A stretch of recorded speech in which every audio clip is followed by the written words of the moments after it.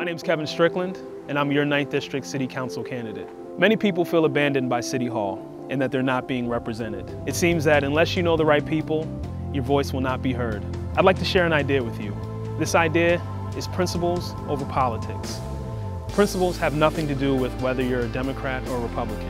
Principles over politics means that as your councilman, I won't put the interests of the politically connected above yours. Principles over politics means that as your councilman, I'll ensure that every neighborhood is represented fairly and equally and has access to the resources of City Hall. We need leadership in our district that will represent every community equally. I hope to earn your vote November 3rd and we can finally see what it's like to live in a district that's governed by principles over politics.